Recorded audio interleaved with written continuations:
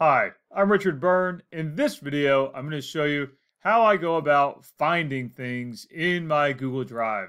I made a video last week about how to upload folders and files into Google Drive, and I got some questions about how do I organize it. Well, I don't organize it all that well, except that I do put in some broad folders but that means that over the years, I've kind of forgotten what I've put in some folders. You can see I've got folders here going back to 2010 in this particular Google account of mine.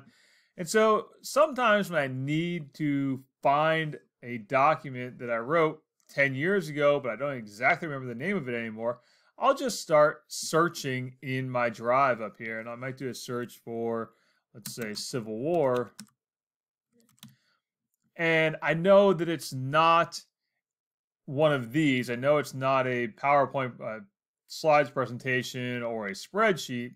So what I'm going to do is go to my search options and say, okay, type. Well, I know it's a document and I know that I'm the owner. So I'm going to say it's owned by me. And it can be anywhere in my Google Drive, modified at any time and make sure it has the words Civil War in it. So now let's do my search.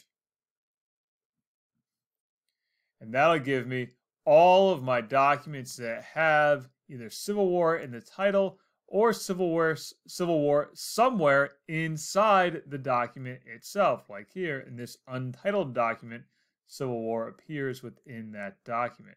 But you can see here's all my other Civil War documents. So that's a handy little way to look for documents and other files that you've stored in your Google Drive, but you can't quite find, can't quite remember what you called them.